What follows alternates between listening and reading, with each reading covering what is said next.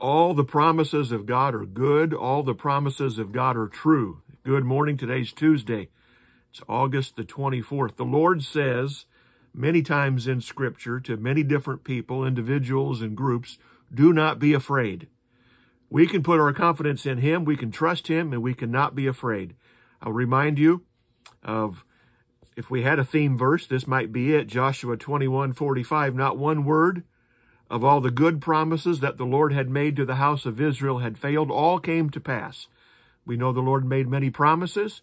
He promises to do good things, and he keeps his promise every time. All through Scripture, we see promises that God fulfills. His word does not return void or empty. Isaiah 55, 11, So shall my word be that goes out from my mouth.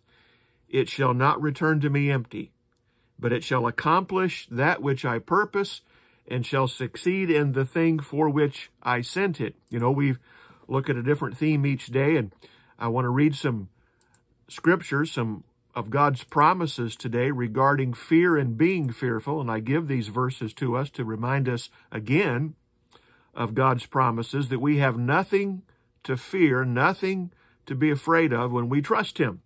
Read these verses as often as necessary to have victory over fear. Don't let fear have a place in your life. Trust God. He'll, he'll answer you. He'll help you. He'll be with you.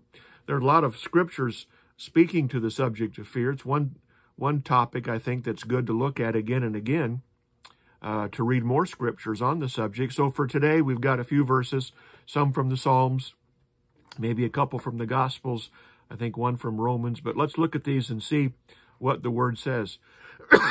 First of all, Psalm 91 and verse 4, He will cover you with His wings, and under His wings you'll find refuge. His faithfulness is a shield and buckler.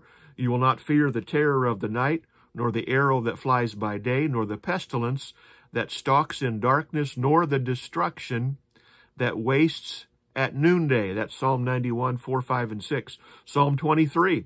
Even though I walk through the valley of the shadow of death, I will fear no evil, for you are with me. Your rod and your staff, they comfort me. You prepare a table before me in the presence of my enemies. You anoint my head with oil, and my cup overflows. Psalm 27, David said, The Lord is my light and my salvation. Whom shall I fear? The Lord is the stronghold of my life. Of whom shall I be afraid? When evildoers assail me to eat up my flesh, my adversaries and foes, it is they who stumble and fall. Verse 3 Though an army encamp against me, my heart shall not fear. Though war arise against me, yet I will be confident. That's 27, 1, 2, and 3. Let's go to John, the Gospel of John, chapter 14. Jesus is speaking. Peace I leave with you, my peace I give to you, not as the world gives, do I give to you. Let not your hearts be troubled, neither let them be afraid. Amen. That's the Lord's word himself. Um, Romans, let's go to Romans chapter 8. Paul says in verse 37, In all these things we are more than conquerors through him who loved us. Verse 38, I am sure that neither death, nor life, nor angels, nor rulers, nor things present, nor things to come, nor powers, nor height, nor depth, nor anything else in all of creation will be able to separate us from the love of God in Christ Jesus our Lord. Amen. Those are good words. Read those again if you need to. Don't be afraid. You can trust God. We have no reason to fear. He hears us. He helps us. He'll be with us. Uh, as, as the psalmist said, even in the valley of the shadow of death. We'll fear no evil. Let's seek the Lord. Call on him. He'll hear. He'll forgive. Bible says, all who call on the name of the Lord will be saved. Call on the Lord today.